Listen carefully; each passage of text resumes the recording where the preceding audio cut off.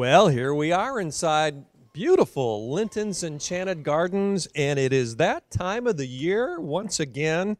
It's Halloween, and we've got all kinds of great looking props here today. This guy, this guy's a little quiet, but uh, he's interesting nonetheless.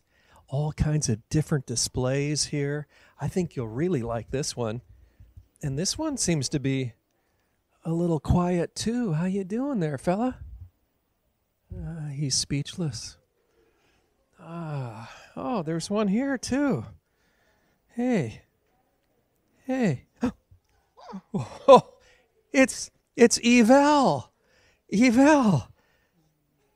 How are you doing today, girl? oh, are you, are you okay? Are you okay? Oh, oh, oh, oh my goodness, a frog. You've coughed up the frog. Thank you. Oh, oh, oh my. Evel, Evel, can you help us today by telling us a little bit more about what what's going on? Uh, another frog. I guess you're going to just have to show us. Okay. Ooh,